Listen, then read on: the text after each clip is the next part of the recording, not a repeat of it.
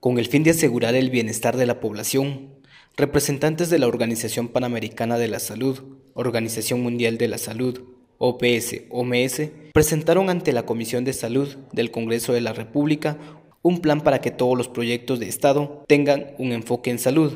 La iniciativa que cuenta con el apoyo del Ministerio de Salud Pública y Asistencia Social aboga porque los proyectos de ley, políticas públicas, entre otras acciones del gobierno y el sector empresarial, adquieran un enfoque en el referido ámbito.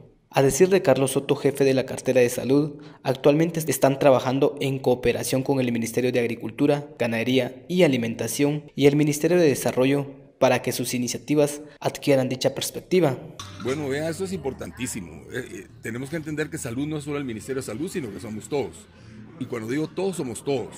Eh, sector privado, sociedad civil, salud, todo lo ejecutivo, el judicial, el legislativo, todo el mundo tiene que colaborar para que nosotros logremos la salud que tanto hacían los guatemaltecos.